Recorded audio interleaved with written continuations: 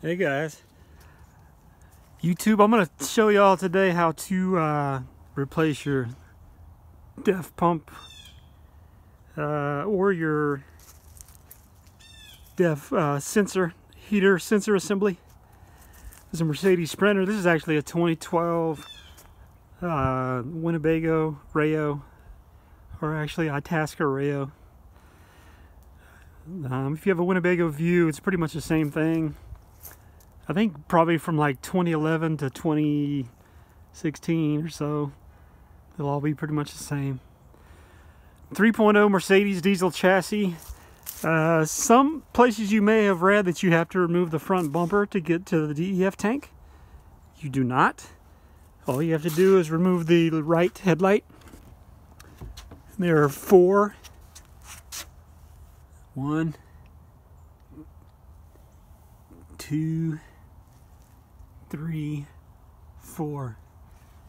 There are three, or excuse me, four T30 Torx bolts that hold those on. Now the front, the top two are pretty easy to get out. The bottom two, you're gonna have very little room to get in. There's not much space to squeeze between the bottom of the headlight and the fender, or the, the bumper. So you're gonna have to use a quarter inch uh, extension with a T30 socket on it to get to the bottom two. And it's gonna be really tight. And you may wanna have something underneath the uh, RV while you're doing this because they're gonna drop somewhere and nine times out of ten you're not gonna find where they're at unless you have a rag or something laying down there. I would not do this on the grass because Murphy's Law says you'll drop a bolt, you'll never find it if you do it on the grass or gravel. I'm on uh, concrete. Once you have this off, the, the DEF tank is, is completely visible in here. It's a 5.8 gallon tank on these Mercedes RV chassis. And there's a bunch of wiring connectors you have to take off. They're not that difficult. You know, pop those loose. You might need a screwdriver to get a few of them loose. You pop these little, these little uh, locking clips back with a screwdriver and then you pull this out. Uh, the actual DEF pump itself only has three bolts. There's two here and one right here in the back. Those are going to be four millimeter Allens. And what I did was I went to uh, Harbor Freight. They sell one of these screwdriver bit kits. It's awesome for doing stuff like this. And uh, I just had a uh, screwdriver that holds these bits. And this right here is actually the four millimeter. That's the easiest way to get in down in here with these is with this to get those out of there. Then that'll just lift off. And then there's a ring, if you can see it here. There's a locking fuel ring right here. And there's a special tool that I ordered on Amazon. It's made by KD or Lisle makes another tool like that and basically that'll prevent you from breaking the tabs off when you try to unscrew this. When you order the new DEF heater assembly, it's going to come with a new lock ring, so it's not a huge deal, but just to save any aggravation.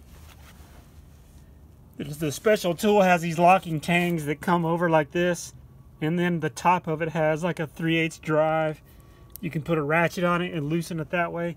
That's the easiest way to do it. Now when you go to put the, the DEF pump back in, and unfortunately I've already done the process, but when you go to take this ring off and you've got the ring all the way off, there's a rubber seal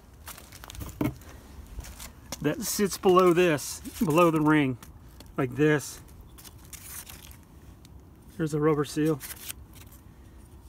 You're going to want to basically get your fingers in there or a screwdriver and pull this rubber seal out. And then the DEF pump itself is going to sit below this rubber seal. And you have to, it's actually locked in the bottom of the tank. So what you have to do is is uh, rotate it like an eighth of a, of a turn to the left and you'll hear it unlock and then it pulls straight up.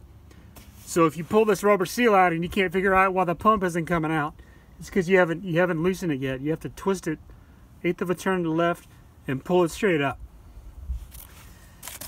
You can remove the def pump from here without dropping the tank. But I found for me it was easier to drop the tank. There's three bolts. There's one down there you can see right here. 13 millimeter right there. And then underneath the RV, yours is probably very similar. There's a 17, or excuse me, an 18 millimeter right here. And then there's another 13 right there.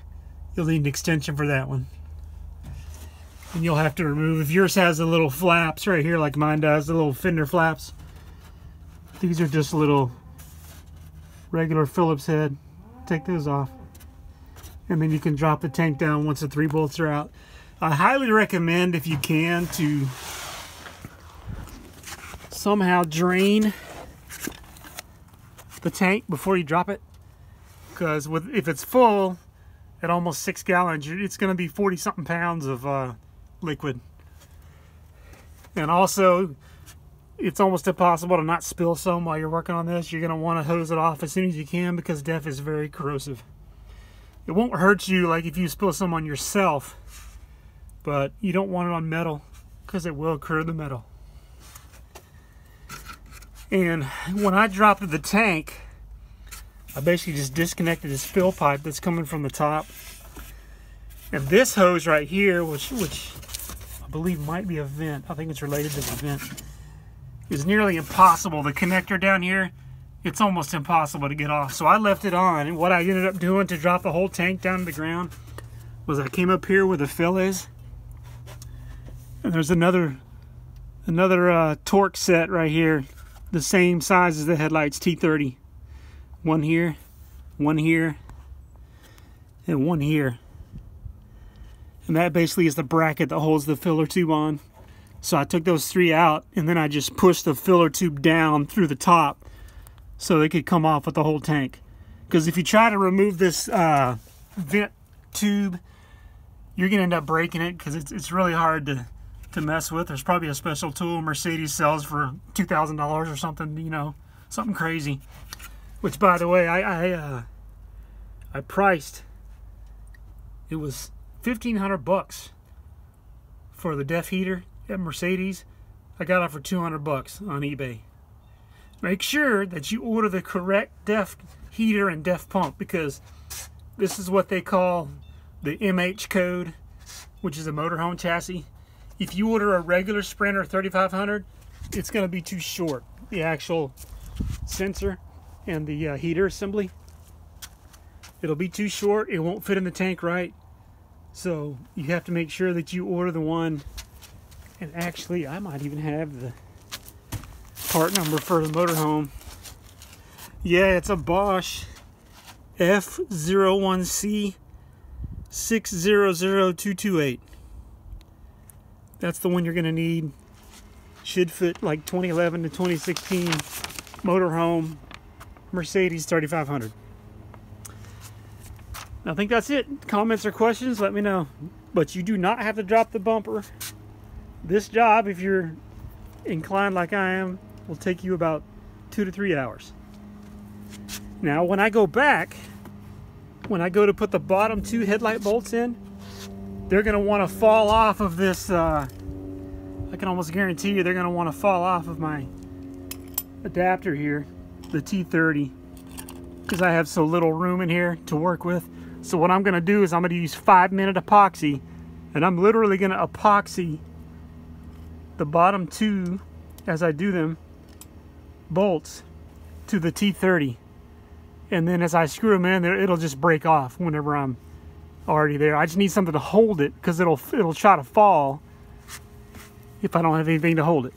So that's kind of a mechanics trip there, or trick there. Thanks for watching. Let me know if you have any comments.